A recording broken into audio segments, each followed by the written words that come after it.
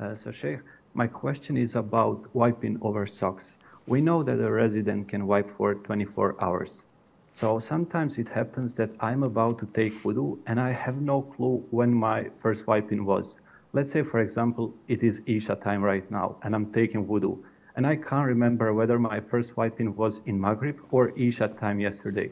What should I do in this case? Would it be allowed to wipe over my socks one more time because I have no evidence that I exceeded 24 hours? Or do I have to take off my socks and wash my feet normally to play safe? Barakallah.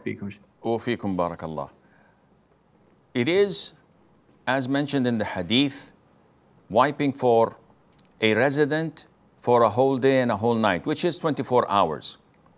Which means that if you're not certain, because this is not the default, wiping is an exemption or is a, a concession, let's say, from Allah Azza wa Jal. Therefore, it's not the default. So if you're doubtful whether it's Maghrib or Isha, and it's Isha time, take your socks off and wash your feet because you cannot exceed the time limit set by the Prophet ﷺ, which is 24 hours.